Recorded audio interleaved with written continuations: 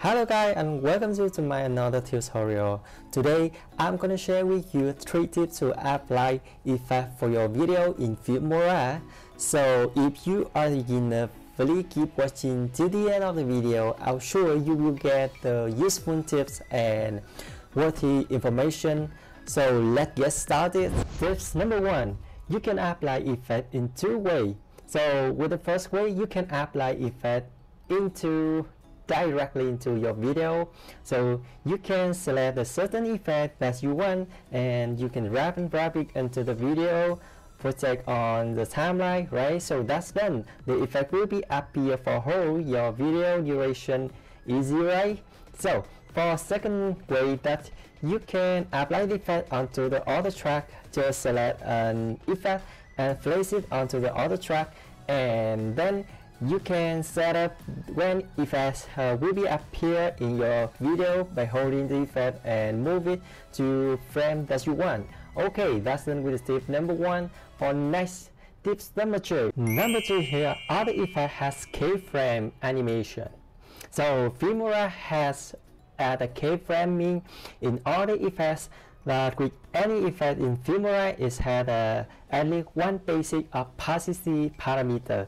So this allow you can add a keyframe animation for effect opacity by clicking keyframe icon here and start at the starting point and ending point for your keyframe to release feeding and feeder effect so by adjusting the number of opacity right? So that's easy to create a new effect in effect right?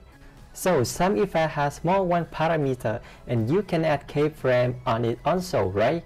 So that's tip number two so more tip number three. So tip number three masking effect. If you are on the latest version in Filmora 10, check it out, you will see a new feature in effect that you can grow the mask uh, effect with a masking zone in effect. That allows you to target to particular area in your video.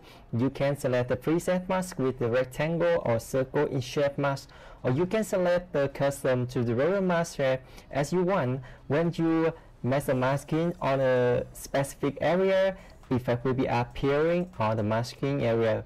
Furthermore, you can customize your mask with a mask parameter to create an excellent video. That's great, right? Okay, that's all three tips I want to share with you. But one more, I had a number four, that's bonus. That's I want to share with you a valuable information that with the first you can check the update latest version on the Filmora tab by jumping into the Filmora interface and go to the main tab at the top right? And select the help, scroll down and go to the check for update and wait for a second right? And if you are on the update that give you information to uh, update or you are on the latest version right so for next information that you can jump into the filmstock.wondershare.com to find more interesting effects for free. Some of them for you have to pay for free if you want to use it. Just go to the website and select the effect and here you scroll down and in library you set for free right and you see that you can check it out before you uh, download in right and once you download you can find it in the Filmstock in Filmora, just uh, go to the effect tab or sticker tab and scroll down to the end of the tab, right? And you see the Filmstock when you download it's done, it's uh, appear here. Okay, that's all I want to share with you today. I hope my video provide the useful and valuable information and tip for you today. And thank you very much guys for watching. If you like my video, don't forget to give me thumbs up and subscribe my channel if you want to see more. And if you feel my uh, video for you, please ignore this. Okay, thank you for your watching. Thank you again and see you next time.